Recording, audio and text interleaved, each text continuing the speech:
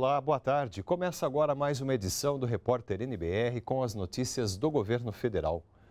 O inverno está chegando e uma forma de se proteger da gripe é a vacina, que está disponível para o público-alvo em todos os postos de saúde do país.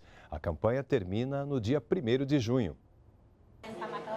Dona Luzia tem 64 anos, é diabética e há 16 anos é a primeira da fila para receber a vacina contra a gripe. Ela sabe muito bem a importância de se vacinar. Para não gripar e para evitar a morte, né? Morrer de gripe não dá, né? Assim como Luzia, o aposentado Líbio, de 65 anos, também é do grupo de risco e toma vacina todos os anos. Ele garante que deste mal ele não vai morrer. Que morrer a gente vai, né? Só não sabe de quê. Mas de gripe eu acredito que não. Mas muita gente que é do grupo de risco não tem o mesmo cuidado que Luzia e Líbio. E a maior preocupação do Ministério da Saúde são as crianças e as grávidas, que estão com baixa cobertura. Quando vacina a gestante, você está protegendo a ela, que também tem um risco aumentado de ter complicação e óbito, como também você está protegendo, porque é, essa proteção passa pela barreira placentária, pelo leite materno, e você também acaba protegendo aqueles bebês muito pequenininhos, menores de seis meses, que também têm um risco maior de complicação e de óbito. A população tem até o dia 1 de junho para tomar uma dose da vacina contra a gripe em um dos postos de saúde de todo o país. A expectativa do Ministério da Saúde é imunizar quase 55 milhões de pessoas até essa data. A gente faz um apelo para que a população procure essas unidades de saúde, se vacina e, e, e tenha uma saúde realmente. É, boa para que você não possa estar é, tendo complicações é, de uma, uma doença que tem uma vacina que pode prevenir essas complicações. E olha, de acordo com o Ministério da Saúde, o estado de Goiás conseguiu imunizar até agora 95% do público-alvo. Entre as pessoas que devem tomar a vacina estão as crianças de seis meses a cinco anos, gestantes, idosos, profissionais da saúde, professores indígenas e quem tem doença crônica como diabetes. Mais de 11 mil pessoas por ano se suicidam no Brasil e, de acordo com o governo federal, esse número vem crescendo. Para prevenir o suicídio, o Ministério da Saúde liberou quase um milhão e meio de reais para seis estados de diferentes regiões do país que possuem maiores índices de suicídio. CVV, boa tarde. Este telefone toca em média 300 vezes por dia no Centro de Valorização à Vida, CVV de Brasília. Do outro lado da linha está alguém que procura outra pessoa para desabafar.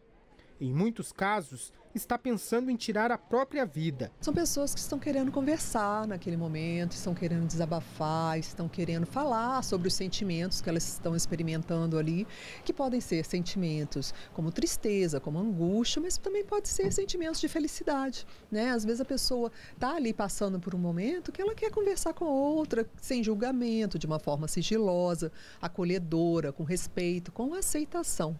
O CVV existe há mais de 50 anos e presta apoio emocional e prevenção ao suicídio 24 horas por dia para quem quer e precisa conversar. O atendimento pelo telefone 188 ou pela internet é anônimo e sigiloso. Devido à importância desse serviço, no ano passado o Ministério da Saúde assinou um termo de cooperação para que a ligação fosse de graça para a população de todo o país. Com a medida, em 2017, o CVV recebeu 2 milhões de ligações, o dobro do que foi registrado em 2016. Segundo o Ministério da Saúde, mais de 11 mil pessoas se suicidam por ano no Brasil e esse número só vem crescendo.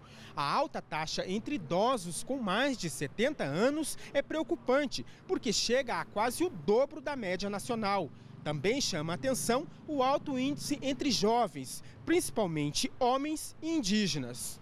Para enfrentar o problema, o Ministério da Saúde está liberando quase um milhão e meio de reais para as capitais de seis estados com maiores índices de suicídio do país.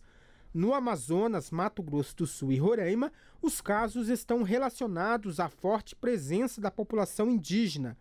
Já no Rio Grande do Sul, os registros estão ligados à produção do tabaco. O recurso pode ser usado pelos serviços da rede de atenção psicossocial como os Centros de Atenção Psicossocial CAPES, ambulatórios, unidades básicas de saúde e, em alguns casos, nos serviços de urgência e emergência. O objetivo, então, de se escolher esses estados é que nós pudéssemos ter é, ações mais efetivas nos locais onde, nesse momento, mais precisam é, dessa ação mais próxima do Ministério da Saúde.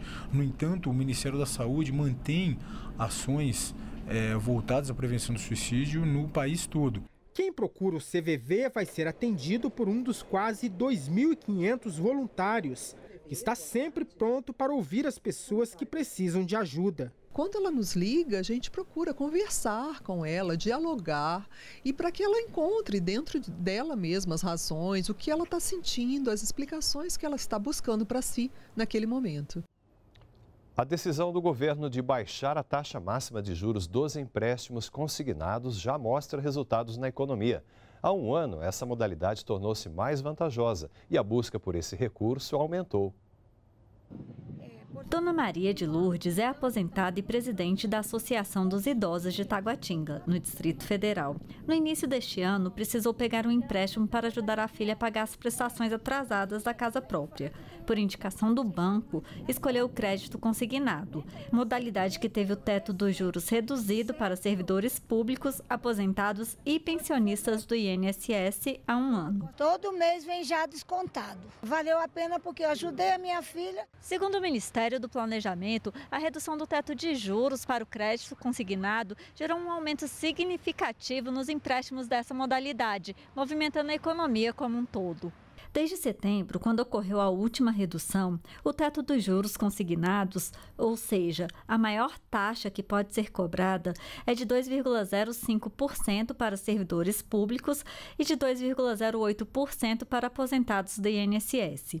E o volume, que crescia cerca de 0,2% ao mês, passou a crescer mais de 0,6%. Atualmente, a parcela de servidores do setor privado que pega empréstimo consignado é pequena, apenas 6%.